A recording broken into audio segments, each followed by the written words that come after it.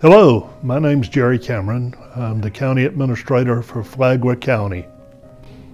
I think that the, the secret to SMA is their people. They have highly qualified people and everyone is passionate about what they do.